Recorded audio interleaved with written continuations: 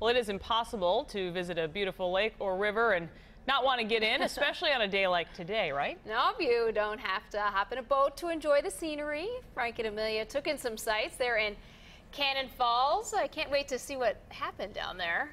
Hi, guys. Oh, it was great Oh, fun. a lot Hi. happened. Yeah. Yeah. Uh, behind us is Lake Byllesby, which really is the Cannon River uh, dammed up, and that's how they created the lake. But, you know, if you ask anyone from this area or anyone who spent any time along the Cannon River, likely they will tell you it's just a great place for tubing. Yeah, it is. We just saw somebody wipe out over there a little bit. It's also a great place for canoeing and rafting. So we decided to go to the Cannon Falls Canoe and Bike Rental to check out the river. We're going to go over the basics. Paddle. Always want to hold the top of the paddle here, hold it down here, and then as you're stroking this way, either side, switch. What, what's the worst thing that can happen? Oh my gosh, do we not, do we paddle? No, I don't think we paddle. Just gentle steering. Amelia left, Amelia right. Okay, wait, you heard it. Right, Joe? Should He's be very going to good. gently tell me. Right. Honey, why are you digging left and then right? You're, it, I'm trying to straighten it. less screaming, more cooperation, please. Yeah, the Cannon River is a one of Minnesota's scenic rivers in the southern Minnesota. Very family friendly. What about the falls under the bridge? Are there are not falls under a bridge? Cannon River is a very gentle river. We're going on some rapids. I think you should breathe a little bit and just kind of enjoy the scenery. Oh gosh, it's pretty.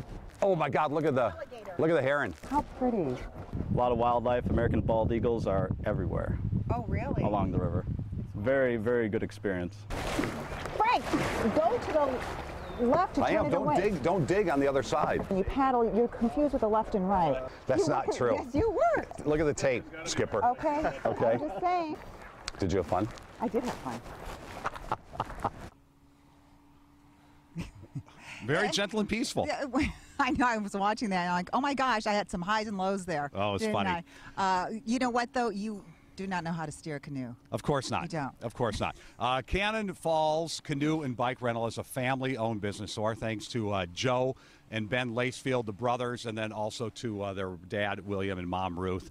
Oh, and, they're great, And we have uh, their information because I know you'd love to try it. Uh, they do a lot of different things between the bikes, the canoe, the tubes, and it's all at WCCO.com. Yeah. Whitewater rafting, up to six people can go on that. And so I w- I'd like to check that out, too. Oh, yeah, that'd be good for some screams. Wouldn't that be great? We also hopped on a tandem bike to check out the Cannon Valley Trail, and we're going to show you our romantic, should I call it our romantic Oh, ride? Yeah, well, oh, That's coming up at you- six. it- I don't know if it's romantic. I think you'll see a lot of what you saw in the canoe, ladies. A Yeah, lot it of was that really kind of romance. relaxing. Let's just so say there was a very little bit of.